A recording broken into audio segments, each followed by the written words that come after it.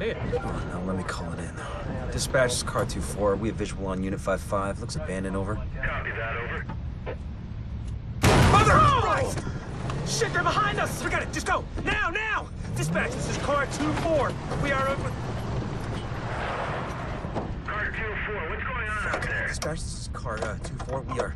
We gotta get back, back, back, back up, back up! Back up! They're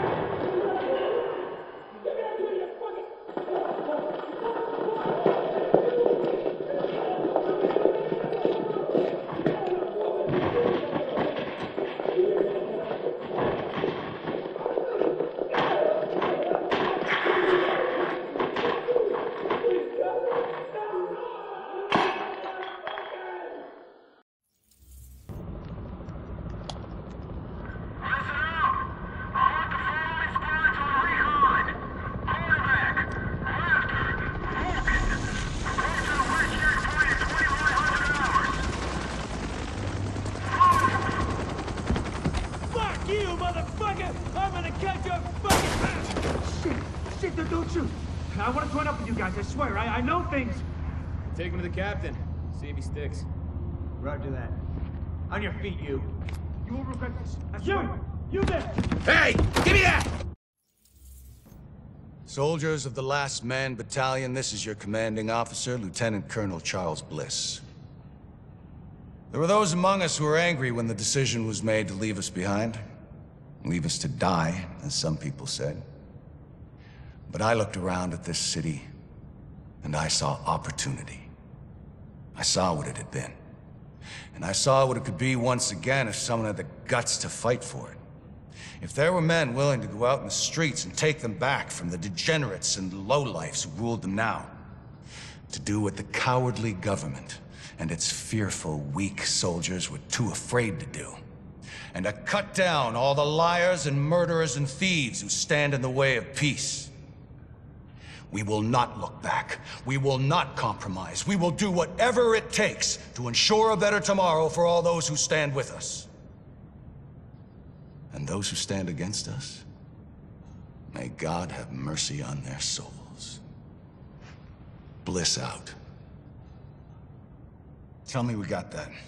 Because God damn it, I'm not doing it a second time. One cut.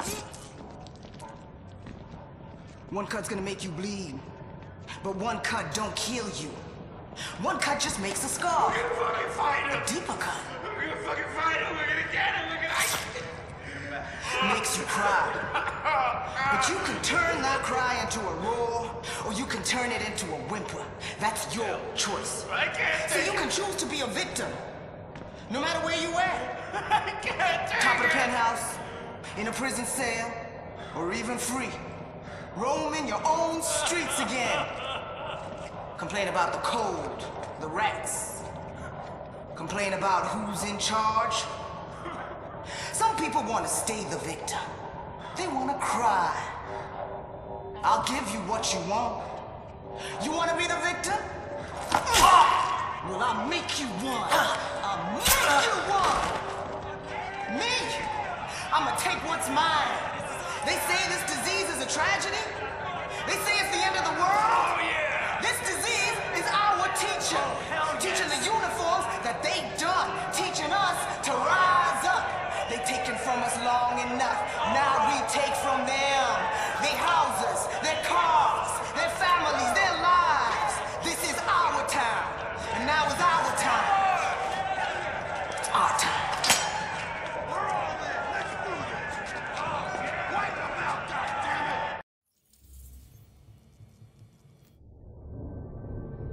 Samples of the original green poison pathogen, the ones we recovered off the currency used as a primary transmission vector, let us take a closer look at the virus's basic genome. What I found was clear evidence the bug had been manufactured.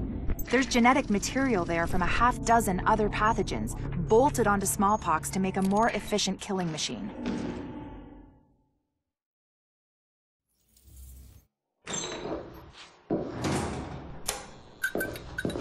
One of the things that makes a virus lethal is adaptation. Rapid mutation makes it harder for antibodies to identify and drugs to kill. What we're seeing in the samples you pulled from the population at the train yard is the degree of genetic drift green poison is already experiencing, and it's significant, which means it'll be that much harder to find a vaccine.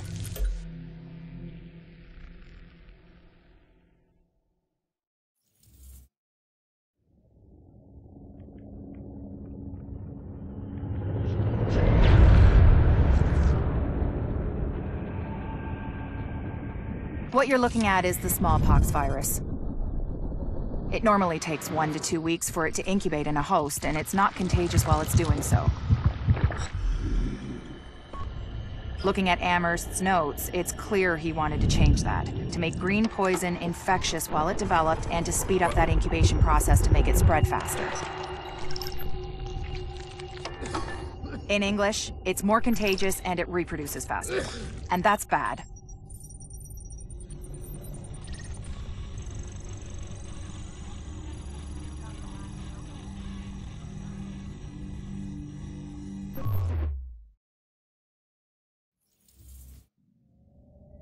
We've got confirmation that green poison wasn't bred. It was coded. Specifically, he picked up on his buddy Tchernenko's research about modifying virus genomes in a virtual space, kicked it up a few notches, and fed the result into an industrial protein replicator. What came out the other end was a working virus, one he could keep tweaking to achieve maximum effect. By which I mean, dead people.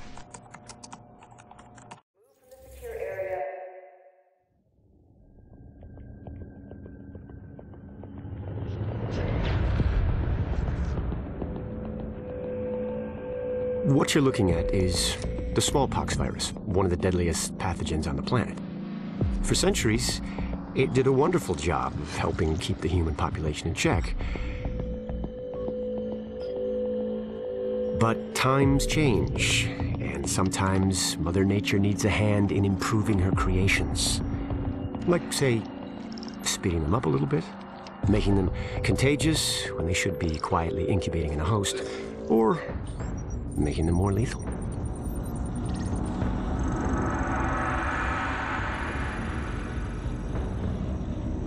I didn't come up with the approach on my own. My friend Vitaly is one of the pioneers in the field, and the idea has been around for years. Genome as data. You see, once we digitized DNA, we made it infinitely mutable. We could do a thousand virtual variations in the time it used to take to grow a one lab grade generation of pathogens. And we could pick the best, most lethal combinations and make them real. That's how you make a killer virus, you see. Mix in genetic code from other diseases, and you move the sliders all the way up on lethality and virulence. The goal was a 90% mortality rate. I'm not sure my green poison is going to quite hit that, but honestly, that's just details. As long as most of humanity goes, the Earth stands a fighting chance. Technically, technology is what's killing the planet. But that's not really the case. It's the greed that drives the technology.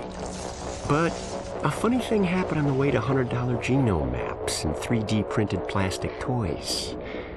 Someone figured out those technologies could be repurposed, modified for the greater good. Me. Now, my virus is going to do what nature's always done. Decide who lives and who dies. And if nature decides I die, then I die. If nothing else, I'll have a lot of company. Natural selection at its finest, helped along by a little unnatural genetic manipulation. It's all data, really. Life's just a method of processing it. The same way I processed the smallpox genome on my laptop. And who's to say that wasn't the plan all along? If, by some miracle, you survive green poison, then nature's decided you deserve to live. The rest of us shouldn't and won't. Godspeed. I'll see you in hell.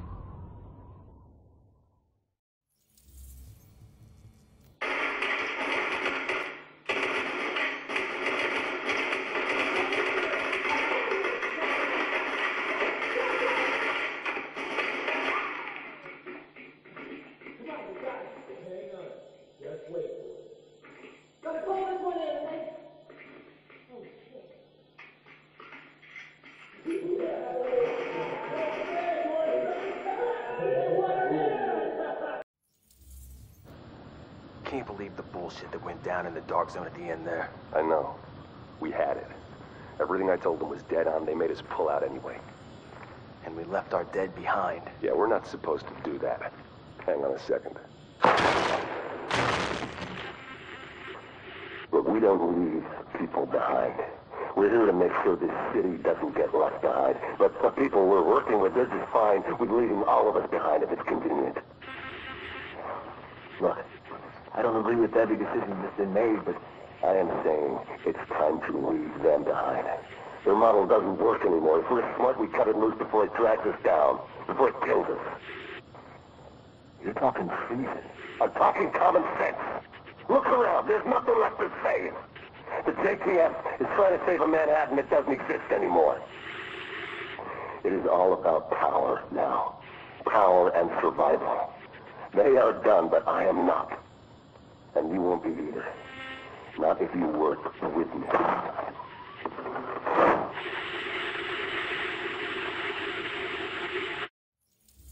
I think we need to modify the terms of our agreement. Why, Colonel? It seems to be working perfectly well so far. You get the support of my people and their gear with field intel you couldn't dream of six weeks ago. I get a base of operations, a place on what's going to be the winning side, and the occasional use of your manpower as needed. Not to mention the occasional surface-to-air missile. Or have you forgotten about that chopper in Brooklyn? Look, my people did the dirty work on that op, Bliss, and eliminating Division Senior Command was as much a benefit to you as to me. The last thing either of us wanted was a senior division agent directing a second wave. Hang on, I'm getting feedback on the link. We've been compromised? Looks like. Cutting the link now. No, don't you. I don't get it. You think there's maybe enough virus going around right now? It's all about the leverage. If I've got my hands on the dollar flu starter kit, this green poison that someone cooked up, then certain people are going to be a lot more reluctant to take a run at me. A gun's a lot better for self-defense than a weaponized virus. Stop thinking small. Start thinking possibilities. There's no medical infrastructure anymore. It's the Wild West out there, but less civilized. Being able to turn certain death loose at any time I want puts me in a powerful position. And controlling the core ingredients for a vaccine, that's useful too. So you might kill even more people. Who's gonna notice? It's not the killing, it's the threat of being able to kill. And giving them the hope they might be saved. The way things are breaking down out there, all these different groups carving their own territories out of what used to be civilization. It only makes sense to have an ace in the hole.